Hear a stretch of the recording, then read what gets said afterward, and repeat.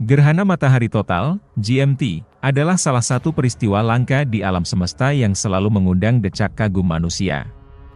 Pada 8 April 2024 mendatang, akan terjadi fenomena luar biasa ini. Peristiwa ini menjadi sorotan setelah gerhana bulan penumbra, GDP, pada Maret 2024, dan menjadi gerhana matahari pertama dalam tahun 2024.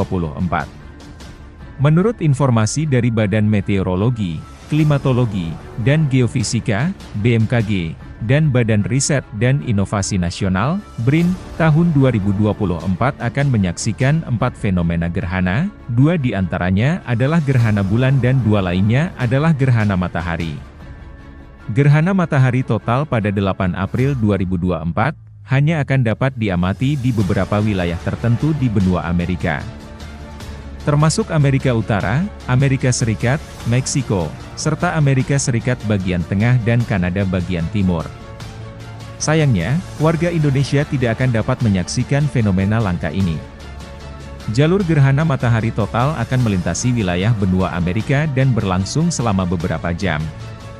Kota-kota yang berada di jalur gerhana akan mengalami kegelapan total selama 4 menit 26 detik, menjadikan momen ini sangat langka dan berharga bagi yang dapat menyaksikannya.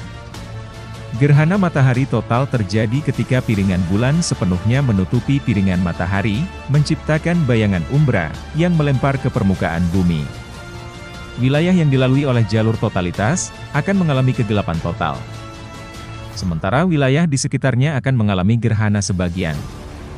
Penting untuk diingat, bahwa pengamatan gerhana matahari total, tidak boleh dilakukan dengan mata telanjang, karena dapat menyebabkan kerusakan permanen pada retina mata.